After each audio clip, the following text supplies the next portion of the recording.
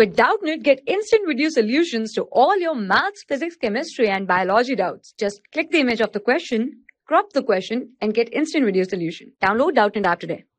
Hello students, today our question is two spherical conductors A and B of radius r and 2 r respectively are separated by a large distance. Okay, if some charge is given to the both spheres and later they are connected by a conducting wire. So then in equilibrium condition the ratio of the magnitude of electric field at the surface of sphere A and sphere B is what? Okay, so we are given with four options. We have to choose the correct one. so let us understand what our problem is saying. There are two conducting spheres. Say this is our first sphere and this is our second sphere. Okay, it is given that the radius of the two spheres are small uh, the first sphere having the radius r and the second sphere is having the radius 2r okay this is say r and this is 2r suppose we have given some charges to the both spheres suppose the first sphere the sphere a and the sphere b these are given some charges. Say it is given with charge q1 and the second sphere is given to the charge q2 and they are separated through a large distance okay? And they are connected through a conducting wire.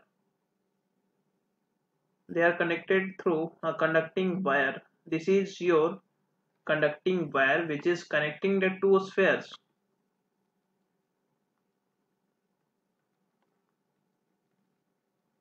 so as you will connect the both sphere through the wire the electric potential of the two sphere will be same. Okay? After connection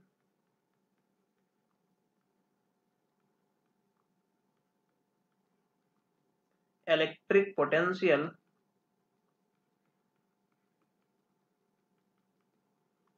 of spheres becomes equal in equilibrium. Some charge transfer from sphere 1 to sphere 2 will take place and in the equilibrium condition the charges will arrange themselves in such a way that the electric potential of the two spheres will be same okay so in that condition whenever the electric potential is same so the surface charge density comes to be inversely proportional to the radius of the sphere. So we can say that the surface charge density of sphere A that is sigma A upon sigma B is equal to radius of B upon radius of A and radius of B is what it is 2r upon r.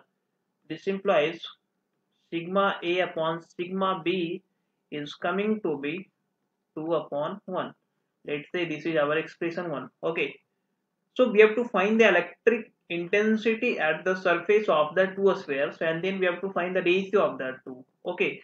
So electric intensity at the surface of sphere a is what? It is kq charge on a upon radius of a square or we can also express in terms of sigma upon sigma upon epsilon naught sorry the electric intensity at the surface of a charged solid sphere conducting sphere is given by simply sigma upon epsilon naught.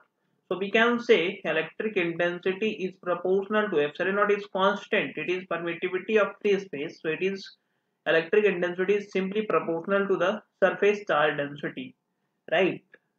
So now we can write the the ratio of the electric intensity of the two spheres ea upon eb is simply sigma a upon sigma b. And we already calculated the ratio of the surface charge density of the two spheres so we can write electric intensity at the surface of a upon electric intensity at the surface of b is equal to sigma A upon sigma B and we have already evaluated it as 2 upon 1.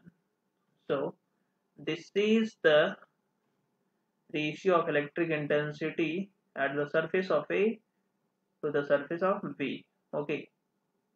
So let us come for the option which we are given in the question the electric field at the surface of sphere A and sphere B, the ratio of electric field is what?